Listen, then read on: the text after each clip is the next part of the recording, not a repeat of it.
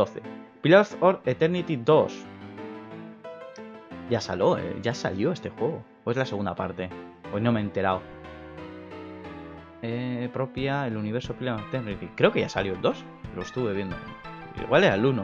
Bueno, pues si no me equivoco, perdonad mi ignorancia. Este juego que seguramente que también será online. No me va. Ah, pues no, pues una. No sé, tiene toda la pinta. One Piece. Bandai, a ver cómo lo haces. La verdad que yo el contraste que veo con el personaje al escenario no lo veo, pero va a ser una especie de mundo abierto.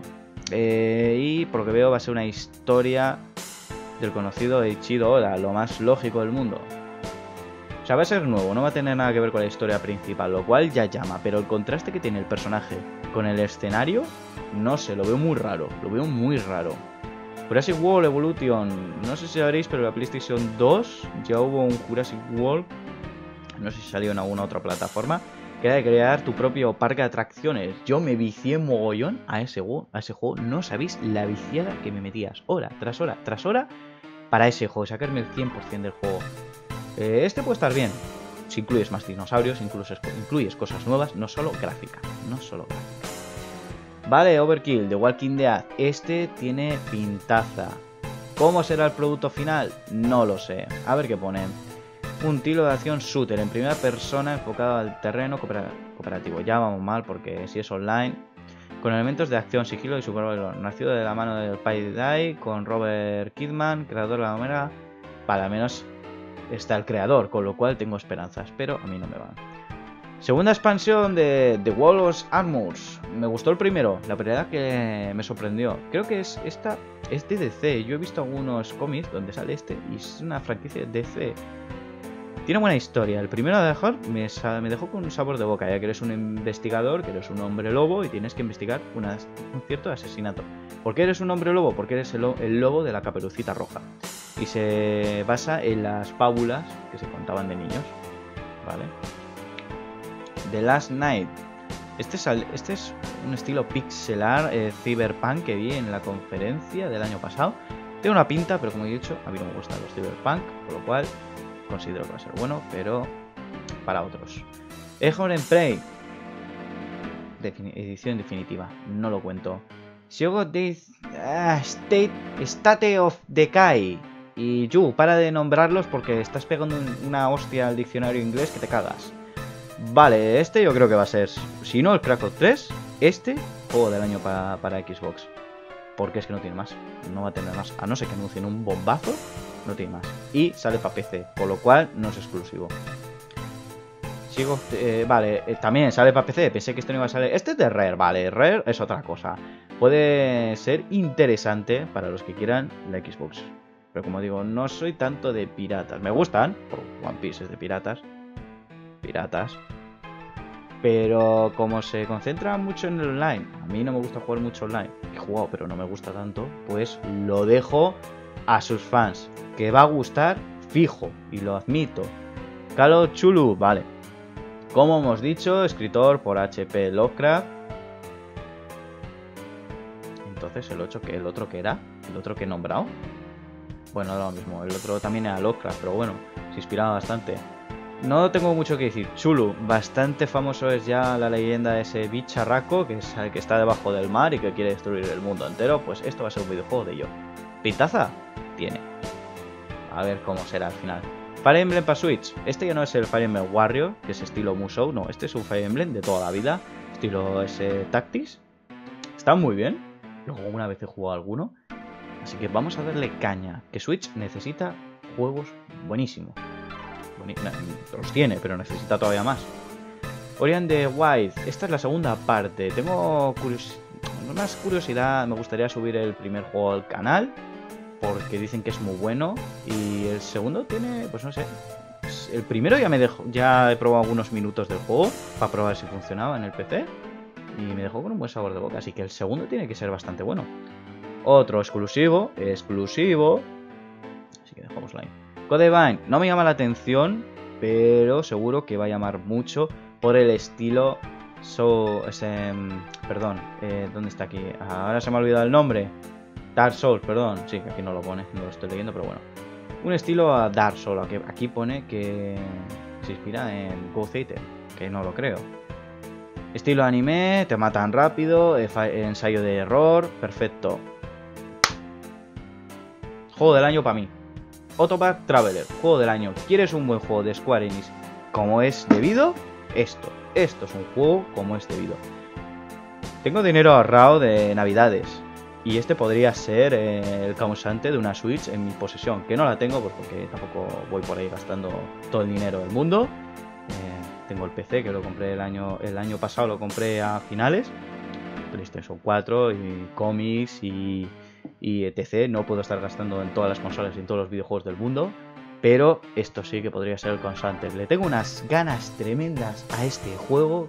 que Switch, tienes un pedazo exclusivo también para este año. Biomutant, otro que le tengo unas ganas tremendas. Sobre todo, ya me llamó eh, visualmente. Pero aquí es el problema. Te llame visualmente no quiere decir que luego te pueda gustar. Por eso tienes que mirar algún gameplay. Yo siempre digo sí. Que no es solo cuestión de que te guste. Míralo.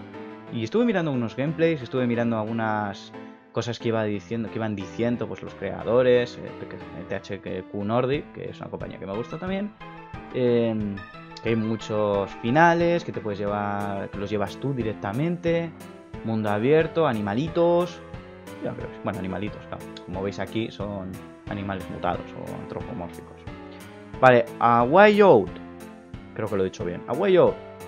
Este juego está llamando bastante la atención por el hecho de que tienes que controlar a dos personajes para escapar de una cárcel. Es como el juego de Brother, que estuvo muy bien cuando lo dieron para PlayStation Plus. Yo lo jugué, me gustó muchísimo.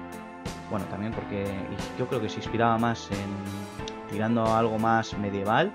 Este no, este ya directamente tienes que escapar de la cárcel. Pero yo creo que eso, poder manejar a dos personajes, que creo que además uno lo manejas tú y el otro lo maneja otra persona. Creo que va por ahí los tiros. Por eso, bueno, yo creo que sí. Este va a ser bastante bueno. Hombre, Darksiders 3 esperaba todo el mundo la tercera y seguramente que tirarán para la cuarta y si no para la quinta. Tiene que haber sido cuatro juegos, ¿vale? Esto es, eh, no me acuerdo, maduré ya, que es que sacó el juego de Battle Chaser que me encantó, pues creó esta franquicia, la de Darkseid, sacó el 1, sacó el 2, tuvo problemas a la hora de vender esos juegos y lo dejó. Parece ser que cayó en las manos de Tokachu Nordic no sé ni lo que he dicho, perdonadme, pero bueno. Y entonces han tirado para la tercera entrega. Parece ser que Joe está dando el visto bueno, ha dado bastante el visto bueno por este juego. Aunque tengo que decir, prefiero el diseño antiguo de Fury. Aquí la veo más humanizada. En el otro parecía más como, como, como a lo muerta, ¿sabes? Medieval. ¿Qué voy a decir de Medieval? Era una obra de arte la PlayStation 1. Solo sale para Sony, con lo cual, en cierta manera, en cierta manera me alegro porque es un exclusivo de Sony, no como Crash, que no era un exclusivo, ¿vale? Ese Crash era de Naughty Dog y de Universal Studios. Bueno, era más de Universal Studios que Naughty Dog, que, que yo sepa, yo ahora lo tiene Activision, con lo cual no era de Sony. Pero Medieval sí, y me alegro por eso. ¿Por qué digo a medias en cierta manera? Porque hay gente pues, que no lo va a poder jugar. No creo que esté ni para PC. Metroid 4. Metroid siempre viene. Samus Aran es la rubia de todas. De todos los hombres que desean esa rubita sexy del espacio. No sé cuál de los juegos no vendió nada bien. Creo un Forter o algo. ¿Cómo era? Forter o algo por estilo. Ahora mismo no me acuerdo cómo se llama ese juego. Que salió para DS. Este seguro que va a ser un pepinazo que te cagas. de consolas, fijo. Nino Kuni 2. El 1, la verdad que llamó bastante. O sea, hizo bastantes fans. Este se basa ya en estilo de juego de Kingdom Hearts, o sea, ya más eh, acción RPG que lo que era por turnos. No me llama, o sea, lo que es el dibujo a mí no me gusta, le veo demasiado eh, anime americano, como lo llamo yo, que los americanos intentan hacer un anime, anime americano, no me llama mucho. Prefiero anime o americano, pero no una combinación de los dos, no me llama nada. Bayonetta, ¿qué voy a decir de Bayonetta? Bayonetta, vamos, es... Ah, tío. Ahí, Bayonetta ha vendido, siempre venderá. Es sexy, es una luchadora, es ese personaje femenino que todo el mundo buscaba. eróticamente, claro, porque hay que admitir que está sexualizada hasta más no poder. Sobre todo cuando hace esas invocaciones con el pelo, que es el traje encima. Va a vender seguro Switch. Encima venden también el 2 y el 1. Bueno, te venden el 2 y el 1 te lo venden digital. Igual que también me, parece mal en ese sentido. Pero oye, me alegro. Switch, otro pepinazo. Kinocom. Este, vamos, si no se lleva años rumoreando sobre este juego, pero no me llama nada. Vampire, este sí, este tiene que haber salido para el año, el año pasado, en noviembre o diciembre tiene que haber salido este año. Prácticamente controlamos a, en, no sé si pone aquí en qué edad es, pero es una, creo que es una Inglaterra antigua. Eh, ah, aquí, en la época de la gripe española, pues me imaginaba. Pero no sé si estarás en España, creo que es Inglaterra al final. Tú eres un vampiro y tienes que decidir si vas consumiendo a la gente para hacerte más poderoso o no y, y, ser más bueno, pero ser más débil a la hora de combates. La verdad que tiene una premisa un poco interesante, pero bueno, eso es cuestión de... Shadow de Colossus es un remake. Es que casi ni remake. Es una especie de remaster estilo bien hecho. No me llama la atención por varios, por varios sentidos. Primero de todo, va a ser exactamente como es el juego original. Lo cual, encima, si haces un remake, como estás diciendo que es un remake, joder, ponme todos los colosos que ibas a poner, porque este es de un pavo, ¿vale? De ese chico que tienes ahí, que va a matar a unos colosos para resucitar a la chica que ama. Pero joder, entiendo que en aquella el creador, eh, Ueda, ¿vale? Ueda, tenía idea de meter muchos más colosos que los que había, que creo que eran 16. Coño, no me metas los. No me metas otra vez los 16, méteme más que, que, que, estoy viendo que los vas a meter por DLC y eso va a doler todavía más. Yo no lo compro, ¿eh? Yo no lo compro. Ya jugué bastante su día, no lo compro. Far Cry 5. Vale, eh, hay mucha gente que lo está viendo como, como, como un 3, pero en América. O no estoy contendido que es, eh, es, bueno, en América, en Estados Unidos. A mí el único que me gustó fue el 3. El Primal me llama un poco la atención porque, porque es eh, a lo... ¿Qué iba a decir? Cretácico. Bueno, así, por ahí, del, de la época muy muy antigua. Dragon Ball Z, vale, empiezo a hablar de Dragon Ball Z. Vale, antes lo he dicho, este juego es visualmente muy bonito, está muy cuidado, tiene un detalle increíble. Pero no puede ser, no puede ser. Estamos en un momento ya que Dragon Ball es una franquicia grande y ha tenido muchos personajes. Tiene 25 personajes eh, ya confirmados. Ya tenemos confirmados al Android 21, pero se la llaman la Majin Android 21. O sea, que no sabemos si manejaremos a las dos con las diferentes habilidades o a una de ellas. Y yo supongo que solo a la Majin Android 21. Que ni si, igual ni es, ni es Android, ¿eh? Igual solo es Majin. O vete a saber lo que es ya, porque ya no lo sé. ¿Por qué digo esto? Bueno, no hay que saber, ¿no? Budokai 3, Budokai Tenkaichi 3, que son creo que los dos juegos que todo fan quiere. Yo Budokai Tenkaichi 3, vamos, es oro puro, es oro puro, tenía mogollón de personajes. Me da igual que no estuviera tan tan tan detallado cada puñetazo que saliera en la serie, pero tenía un purro de personajes. Aquí te meten pequeños personajes y si no por DLC. Y si no por DLC. Ya tomar por saco. Y si, y si te gusta, te gusta. Y si no, no. Yo no lo compraría. Eh, que me lo regalan, perfecto, lo aceptaría muy bien porque es visualmente muy bonito, pero yo no lo compraría. Por eso, pocos personajes, muy bonito, pero ya está. Es que es eso, es que a mí me come eso. Estamos en un momento que ya tendrían que ser muchos personajes, 50 personajes, no 25 y un DLC de 8 personajes. No, esto no, yo no lo admitiría. Perdonad, ¿eh? aún así sé que va a vender, va a gustar, Dragon Ball vende, al que le guste y se lo haya comprado lo respeto perfectamente, pero mi opinión es esa y este vídeo es una video opinión. Vale, Dragon Quest 11. Dragon Quest siempre, siempre vende. Ya sabemos que Toriyama y los diseños en Dragon Quest han vendido. Me gustó el 8. El 8, el 8 me gustó muchísimo. Y el Heroes. Y alguno más creo que juego por ahí, pero ya está. Monster Hunter, probé la beta. Increíble. Solo puedo decir que increíble. Este Monster Hunter empezó en PlayStation 2. Creo que en, ningún, en ninguna otra consola salió luego en PSP y luego tiró para Nintendo y sacaron solo en Nintendo los juegos. Parece ser que no sé, no sé por qué han, decidido sacar este para PlayStation 4 y Xbox y también para PC. Pero me alegro porque es esto sí que es un vende consolas. Este sí. Pero claro, estamos hablando de un vende consolas que, que está para dos. Detroit Human. Me está dando pena por lo de Detroit Human porque ha salido hace ayer mismo, creo. Bueno, ayer para mí, claro. Eh, unas noticias de que no sé qué, de acosos sexuales y cosas por el estilo. Y le va a afectar a las ventas. Ya verás, me está dando pena porque seguramente que no tiene nada que ver. Sobre todo porque el director ha dicho que está trabajando con personas que apoyan, eh, apoyan varias causas que me lo creo, que seguro que sí, ¿vale? Me lo, voy a creer, ¿vale? Le voy a dar un punto de apoyo. Y es que encima aparte de eso le están echando la culpa a Sony, Sony Francia, creo que es, donde están. También por el hecho de que, ostras, si está saliendo esto y a ti te está dando igual, pues tú también tienes la culpa. Pues no, ¿vale? O sea, que este es, esta compañía está haciendo un juego exclusivo para Sony. No quiere decir que sean de ellos. Aún así, yo creo que va a ser un juego interesante. Esperemos que sea mejor. El Heavy Rain me gustó. El, el Beyond Dos Almas no me llamó nada. Pero nada de atención. Los 10 últimos juegos. Tomb Raider. Solo me gustó el primero que hizo Square Enix. El segundo me rayó bastante. Bastante me rayó. El primero me gustó muchísimo. No sé cómo será este ni qué se basará. Eh, es que yo tengo un problema.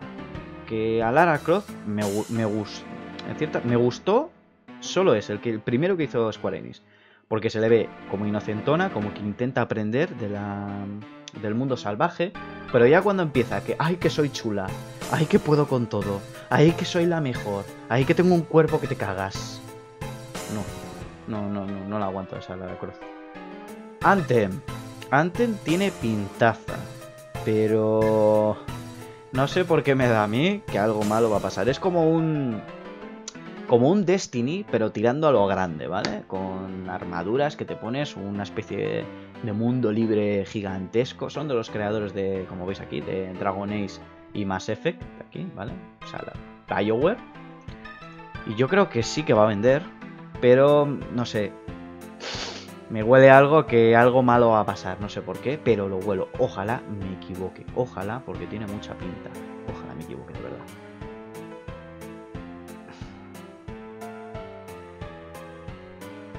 de verdad. Este juego no va a salir para este año. Y si sale, y si sale, pues porque no tengo el Final Fantasy VII original, si no me lo comería. No va a salir porque está en pañales todavía. Y si sale, ya digo, me alegro. Yo voto que saldrá al año que viene o a principio o a finales, una de dos. Pero no mucho, no mucho antes. Es que no sé, no sé. No, han enseñado nada. El año pasado no se habló nada de él. Enseñaron dos trailers. Y esos trailers estaban hechos para ser trailers. No para ser juego. Dos trailers. Para ser trailers. Vale, muy bien. Pokémon Switch, otra cosa. Este juego no sale para este año. Yo no huelo que, salga para este año. Porque en el E3 del año pasado salió, salió uno diciendo, ah, y estamos haciendo un juego de Pokémon de RPG. Y ya está. Toda esa es la información que tienes. Así que si sale, bien. Pero lo único que va a salir va a ser un tráiler. Este E3 yo que seguro que sale un tráiler de este juego. Pero no veo que vaya a salir para, este año. Si es que no ha, no ha habido ni tráiler, ni, ni una portada, ni nada. Ojalá, pero es que se están están improvisando mucho ya. Estos, estos últimos juegos están siendo muy improvisados, ¿eh? Metro Exodus, vale, este sí, este te lo compro, este te lo compro porque sí que se anunció que iba a salir para este año, que es, eh, vale, la saga de Metro, que tendrá que estar por aquí el nombre de, aquí está Dimitri Glubowski, eh, es el creador de los libros, los cual apoyó a los juegos, este, este escritor tuvo una pelita, pero tuvo como una discusión con el creador del The Witcher, cual el The Witcher decía que los videojuegos como el que mm, le fastidiaban a su saga la saga de Witcher, ¿no? Y todo eso porque ya se descubrió que el creador del The Witcher eh, vendió, bueno, vendió, o sea, quiso todo el dinero y CD Projekt le dio todo el dinero que pedía, pero ya no podía seguir más. Entonces, claro, como CD Projekt seguía vendiendo con The Witcher 3, pues este hombre se fastidiaba. Al cual Dimitri Glubowski, que me lo sé porque tengo el nombre aquí, apoyaba a las compañías porque gracias a que hicieron los juegos, la gente conocía sus libros. ¿Vale? Y eso me pareció muy bien coño, yo hago un libro, ¿vale? Y hago un videojuego, no me voy a quejar. Hombre, eres tonto y has pedido todo el dinero en vez de haber esperado a que se fueran sacando los juegos, se fuera haciendo más famoso, que podía no haber sido, ¿eh? Pero si el de Metro está contento, ¿por qué no vas a estarlo tú? es que puede funcionar. Sobre todo funciona cuando, cuando, es de un, cuando es un juego salido de un libro, funciona mucho. Cuando es de una película, no. Metro seguro va a ser bueno. Más tiene pinta de que es mundo abierto, por lo que vi. Days Gone.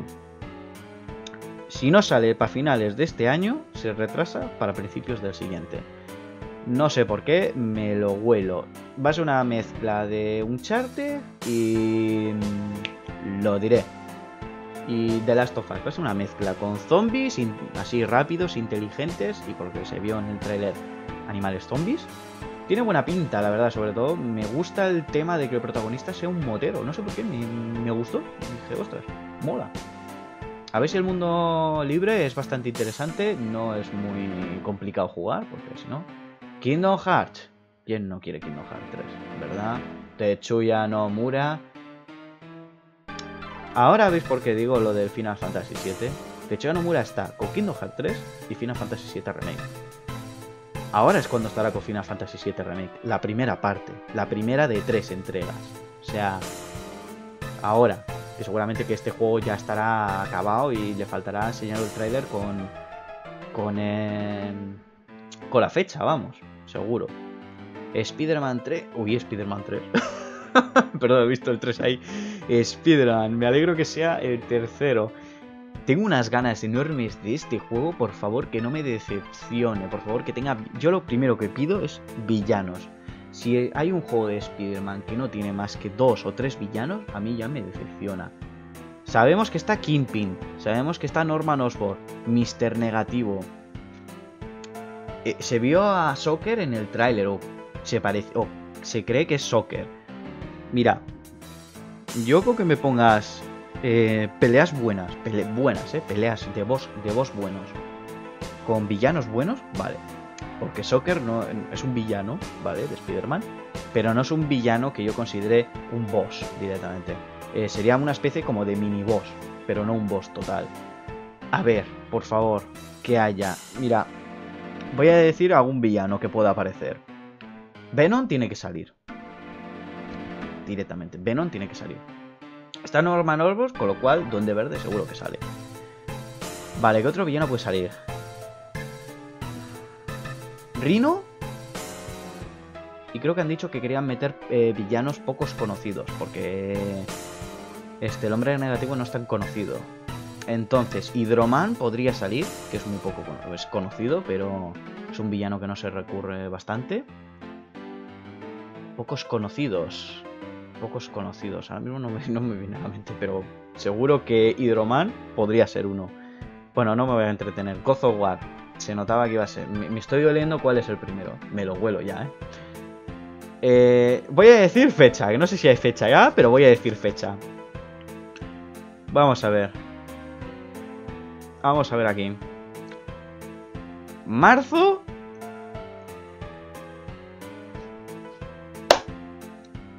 Marzo.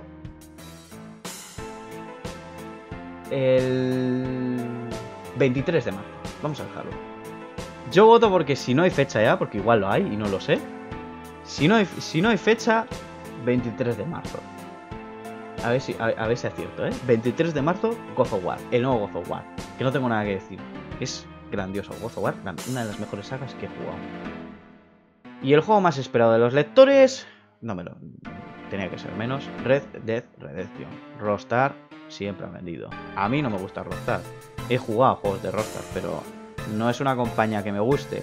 Hay cosas que, veo que hacen mal, en cierta manera, ¿vale? En GTA V he visto eh, o me han contado cosas que se puede hacer en el juego y yo las veo mal, ¿vale? Eh, no sé, eh, luego dicen que los juegos incitan, pero señalan a otros y no a los que deben, en mi opinión. ¿Qué va a vender? Va a ser famoso va a vender mogollón, va a ser el juego del año fijo. No sé por qué me da que sería, será fijo. Así que, ¿cuáles van a ser mis juegos del año? Así directamente. Vale. Es un poco difícil sin, ver las fotos ahora mismo. El de Switch, ese de Square Enix, seguro. El Octopath Traveler, seguro. God of War, para mí, juegos del año para mí, ¿eh? No, no, para, no es mundial, ¿eh? God of War, también. Red de... Bueno, claro, es que no es para mí. Ya, está, ya me estaba priorizando. Eh, Indivisible. Eh, vamos a dejarlo. Vamos a dejarlo en tres. Esos tres para mí. Bueno, Lost, Lost Soul Asai, que no ha salido y que debería. Qué raro que no haya salido. Juego indie bastante bueno. De un pavo. También podría meterlo. Y estos son los 150 juegos más esperados de este año, votado por los lectores, claro, de esta página, lógicamente, por, dos, por 228.440. ¿Está bien? Bueno, hay cosas que yo creo que se han subido por la rama, como el Pokémon, el final, o sea, el Final Fantasy VII Remake o el Days. Igual el Days incluso no tanto. Pero se podía, podían haberse metido otras cosas. Ya digo, el Lost Solar Size podía haber metido perfectamente. Y algún otro indie por ahí eh, más conocido también. Hay juegos que solo son eh, ediciones, o sea, ediciones en plan definitivas o con más, con más contenido. Yo eso es que no lo incluiría. Yo incluiría juegos que no han salido y que podían... que son nuevos, vamos. Así que nada. Esta es mi premisa de algunas cosas. Mi opinión. Los juegos que salen y ya está. Así que dar un like, si de grande también. Hostia, macho, que acabo de... Ah, lo acabo de copiar a alguien y todo. y también le dais un like, también por eso. Y nada, compartir el vídeo, dejar en los comentarios cuál es vuestro juego esperado de este año. Y si eres nuevo, te suscribes para más gilipolleces. Que claro, bueno, más gilipolleces. Cuando hago video opiniones soy bastante tranquilito. Bastante tranquilito. Así que nada, chao.